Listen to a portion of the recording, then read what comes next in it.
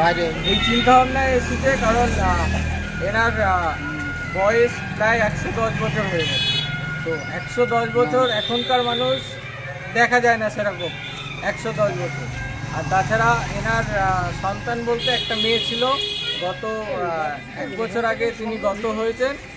তো মেয়ে ইয়ে বলতে তিনিই ছিল। তো সেই জন্যই আমাদের সম্পর্কে বড় মা হয়। এনার কোনো ছেলে বা কোনো মেয়ে নেই। তো আমরা সবাই মিলে ঠিক করেছিলাম, ইনি যদি একশো একশো বছর বেশি বাঁচে, তো আমরা সবাই মিলে ডিজে বা যেটা হয়, যেটা অন্য জায়গায় আমরা করি না অল্প বয়স্ক মানুষ মারা গেলে খোল করতাল হয়তো হরে কৃষ্ণ দিয়ে নিয়ে আসা হয়, সেটাই হয়তো আমাদের হিন্দু মতে নিয়ম। তো আমরা সেটার ঠিক একটু অন্যরকম ডিজে বাজিয়ে আমরা তাকে নিয়ে এসেছি।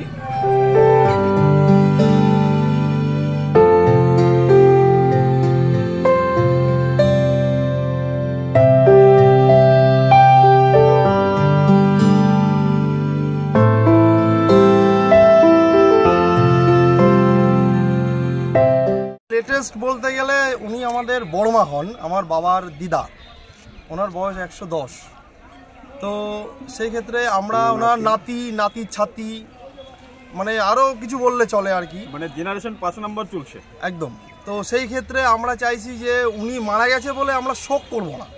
আমাদের আমরা আনন্দ করব আমরা। যেহেতু ওনার বয়স একশো দশ হয়ে গেছে। ঠিক আছে কিন্তু আমরা ওনাকে বলেছিলাম যে আমরা যখন মারা যাবে তুমি তোমাকে আমরা আনন্দ গান বাজনা বাজিয়ে আমরা নিয়ে যাব। এটাই আমাদের এটা আশা আমাদের ছিল। আশা ছিল আমরা সেটা সেটা আমরা পূর্ণ করলাম ওনার আশাটা। ওনার আমরা বাড়ি খুব কোথায়? খুশি। ওনার বাড়ি কোথায়? বাড়ি লক্ষ্মীপুর মাঠপাড়া। উনি কি অসুস্থ ছিল? না না না উনি অসুস্থ ছিলেন না উনি অসুস্থ স্বাভাবিক ছিলেন না স্বাভাবিক মাস দেড় দেড়েক হয়েছে উনি বিষ্ণু সজ্জা বিছনাসজ্জা হয়ে গেছেন কতজন এসছেন আপনারা? মোটামুটি তো দেড়শো দুশো হবে।